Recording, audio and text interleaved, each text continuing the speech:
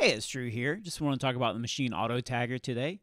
Maschine Auto Tagger is software for Windows and Mac that automatically tags your samples for use in the Maschine Desktop software and the Maschine Plus software. It supports adding images for the Maschine Desktop software, but not Maschine Plus since Maschine Plus doesn't support user images.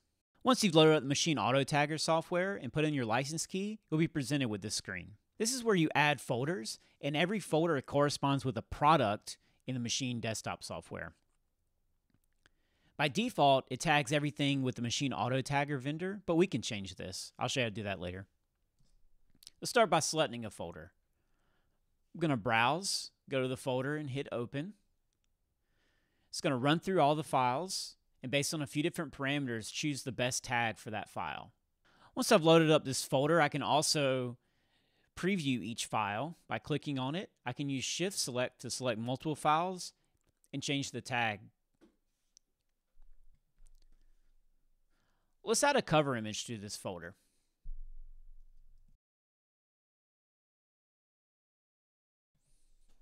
I can select an image, I can crop the image. The image will be the correct size for the Maschine controller and desktop software. Let's go ahead and export. Exporting never modifies the original files. It always copies the files to the desktop folder. Once your files are tagged, they're tagged forever so they can be moved across computers and to the Maschine Plus.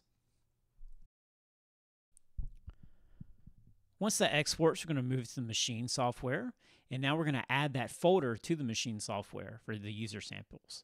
Let's go to Library to User, then we'll hit add. We'll add the Maschine auto tagger from the desktop. Hit rescan. And now if we go to one shots, we can see all of our samples have been tagged for the Maschine software.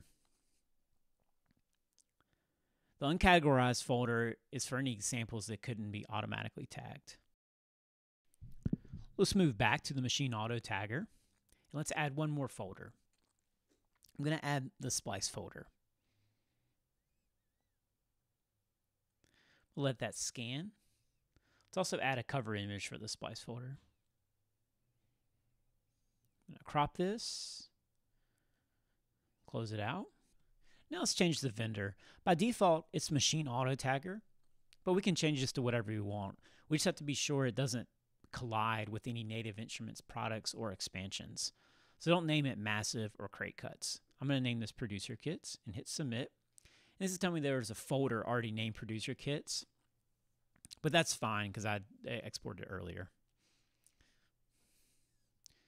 Now, I changed the vendor. I have to re-export. Let's move back to the Maschine software. And I'm going to rescan. And then we'll see that we have an issue here. We have one that's Maschine auto tagger and one that's producer kits. That's fine. The way to fix that is to just remove and then re-add the library. Changing the vendor is the only time you'll have to do this.